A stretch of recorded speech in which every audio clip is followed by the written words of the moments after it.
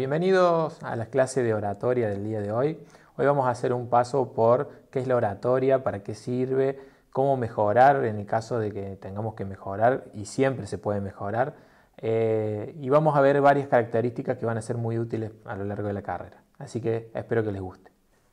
La oratoria, la pregunta que todos nos hacemos es qué es, como para poder definirla.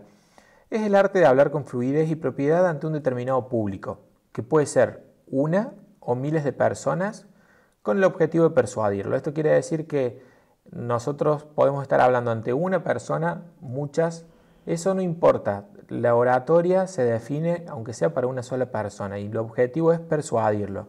¿Y qué es persuadir? Lo hemos visto en las clases anteriores, pero persuadir es convencer a la otra persona de que haga algo o sobre algún determinado argumento o alguna característica o razón que querramos convencerlo. Entonces, para eso es fundamental la elocuencia y el propósito con el que lo hacemos. Podemos definir algunos tipos de oratoria. Por un lado tenemos la oratoria pedagógica, que transmite conocimientos. Es básicamente una oratoria didáctica o académica que busca enseñar, por eso el término pedagógica. Persuasiva, busca convencer o influir en la audiencia, utilizado por ejemplo por los políticos principalmente en épocas de sufragio. Cuando tenemos épocas de elecciones, vemos cómo los políticos intentan convencernos de sus propuestas. Management Speaking es la oratoria en el marco empresarial, en la presentación de nuevos proyectos o venta de un nuevo producto, por ejemplo. ¿Sí? Este caso es el caso donde el objetivo es comercial y tenemos las presentaciones de proyectos, productos, etc. También la oratoria puede ser individual o grupal. Como vemos en la figura, la oratoria la puede hacer una sola persona, destinada a una o muchas, como dijimos anteriormente, o puede ser grupal. Muchas personas o varias personas hacen un proceso de oratoria sobre un público definido. Y básicamente, ¿en qué se usa la oratoria? La oratoria la podemos utilizar en conferencias. Sabemos que una conferencia es una reunión de personas en la que se expone sobre un determinado tema o varios temas. Esto puede ser social, político, científico, etc. Pero las conferencias sabemos que necesitan de un proceso de oratoria. Por otro lado, es común en eventos como congresos y podemos verlo seguido. Un ejemplo eh, es una rueda, una conferencia de prensa, un partido de fútbol en donde un técnico hace una conferencia de prensa para explicar el resultado del partido que se jugó. ¿Y en qué se usa también? Un ejemplo que conocemos eh, para definir lo que estamos viendo ahora, que es el debate, es un debate presidencial. Pero, ¿qué es un debate? Un debate es una discusión o enfrentamiento verbal entre dos o más personas sobre un tema que para ellos es controvertido o importante. Entonces nuevamente hacemos referencia al debate presidencial que se ha dado en los últimos años, en donde los diferentes políticos van debatiendo unos con los otros sobre diferentes temas que les interesa a la sociedad.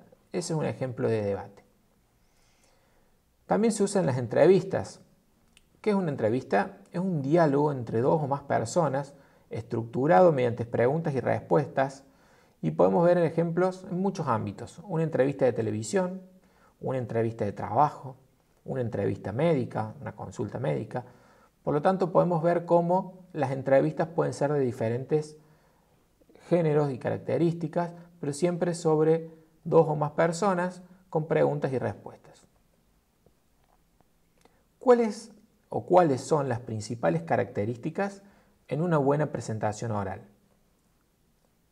Primero, ante todo, el entusiasmo, que es el sentimiento intenso de exaltación del ánimo producido por la admiración apasionada de alguien o algo que se manifiesta en la manera de hablar o de actuar. Cuando nosotros ponemos entusiasmo en algo, estamos poniendo también sentimientos y estamos transmitiendo a través de nuestras expresiones lo que queremos decir con un cierto apasionamiento. Seguimos con pasión. La pasión es una emoción definida como un sentimiento muy fuerte hacia una persona, tema, idea u objeto.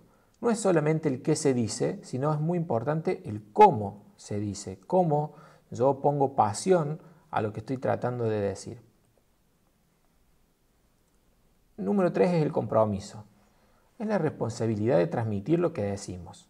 Debemos estar totalmente comprometidos con el objetivo de la causa para poder desarrollar un tema y luego, lógicamente, convencer al público. Hay que ser humilde, esta es la cuarta de las características, que es una virtud que consiste en el conocimiento de las propias limitaciones y debilidades. Es la capacidad de no centrarnos en nuestros propios logros al hablar, es decir, no ser autorreferencial todo el tiempo y transmitiendo con sencillez lo que tenemos para decir. Entonces, ¿qué tenemos que tener en cuenta? El tono de voz es muy importante, la altura de la voz, el ritmo al hablar y el volumen de la voz. Todo esto hace referencia a cómo nosotros modulando la voz logramos salir de un, ritmo monótono en donde podemos capturar la atención de las personas que nos están escuchando en este proceso de oratoria. También hay que tener en cuenta la enunciación, cómo enunciamos las palabras, cómo la pronunciamos y la vocalización. Todos estos son aspectos que también hay que considerar para una buena oratoria. Hay que ser seguros al hablar, estar totalmente relajados o intentarlo y buscar el contacto visual con el público. Es muy importante poder intercambiar con el público miradas, sonrisas. De esa manera el público estará más concentrado en lo que estamos nosotros tratando de transmitir. Hay que conocer muy bien el tema y el objetivo del discurso. Mantener atento al público y evitar, lógicamente, distracciones. Esto va a hacer que tu discurso sea eficaz. Otro aspecto a tener en cuenta según el discurso, es la vestimenta adecuada y obviamente el aseo. Y no te olvides, un buen discurso comienza con un saludo inicial y un agradecimiento final. Así que muchas gracias. Espero que te haya gustado la clase del día de hoy. Es muy importante que sepas que el proceso de oratoria se gana a lo largo del tiempo. Nosotros vamos a ir incorporando conocimientos, vamos a desinhibirnos a medida que pasan los años en la facultad, pero es muy, muy importante que le prestes atención a estas características que hemos mencionado. Por eso te invito a que sigas leyendo, que consultes los foros, que interactúes con las herramientas que te da la universidad y estamos en contacto de manera permanente. Muchas gracias.